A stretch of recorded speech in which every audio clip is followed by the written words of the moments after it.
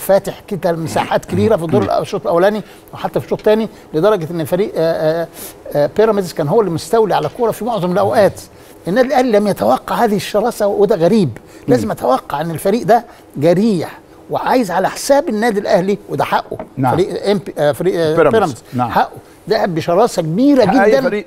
ودي. نعم. يمكن لو لعب فريق صغير ما كانش هيعمل كده نعم. إنما لقى النادي فرصة لقى النادي الأهلي إن هو يعني يعلى على النادي الأهلي ويقدر يعوض جزء من المشاكل اللي حصلت له نعم. دي كلها المشاكل اللي حصلت بالنسبة للنادي الأهلي واستراخي في الآخر وضيع الكورة بسهولة جدا سواء قفشة نعم. من البداية وبعدين لما جت للشناوي وهكذا فدي كلها مشاكل أعتقد إن النادي خد درس منها مش عايز النقاش نعم. لأن البطل لا يمكن يظ- يظل على هذا الحال ده صحيح. ومؤكد إن هينتفض النهارده نعم. انتفاضة ثانية مختلفة وبذكرى فريق سموحه المباراة الأولى نعم. برضو كان هناك تراخي وشفنا الجول اللي جه فينا الجول صحيح. الثاني في, في الوقت الأخير. آه. بمناسبة سموحة تشكيلة سموحة كابتن فضل الهاني سليمان لحراسة المرمى في تغييرين أيضا في خط الدفاع زي النادي الأهلي أطهر الطاهر محمود البدري رجب نبيل وشريف رضا آه، آه، شريف رضا على حساب كناريا ومحمود البدري على حساب محمد عبد المنعم محمود حليم وأحمد حمص مصطفى فتحي وأحمد عبد القادر وعبد الكبير الوادي وديريك نيسا بمبي آه، دي تشكيلة سموحة.